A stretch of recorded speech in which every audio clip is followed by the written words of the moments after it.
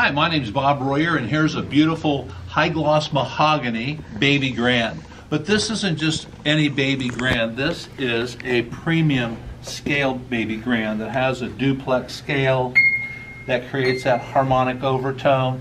And this is a wet ca cast plate. Unlike uh, Yamaha and Kawai have a dry cast plate that they put um, alloy in. Um, and it creates an overtone. It's a little nicer. This is a, Hamburg Grand, and uh, this is made in the same factory that the Essex Grand is made um, for Steinway. And uh, believe me, it's I would not carry a brand new piano that wasn't high quality. I don't carry any piano, any new piano that's not premium grade.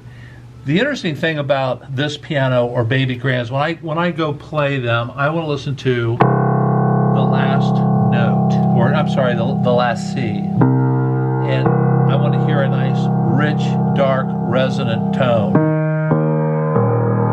And what I really like about this particular Hamburg, it has a warmer sound. So we get a, a lot of piano teachers in here that say sing also or teach singing and they want an accompaniment piano. They don't want a a brighter instrument. I know Yamaha, I was a Yamaha dealer for 25 years.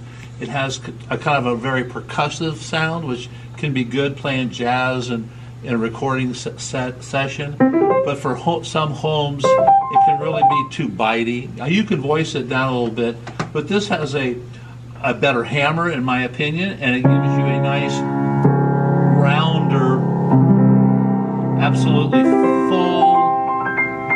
The action is just fantastic. We've sold these pianos to many churches and schools and piano teachers.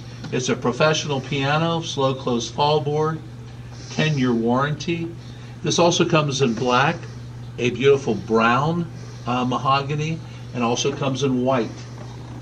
And this is absolutely beautiful.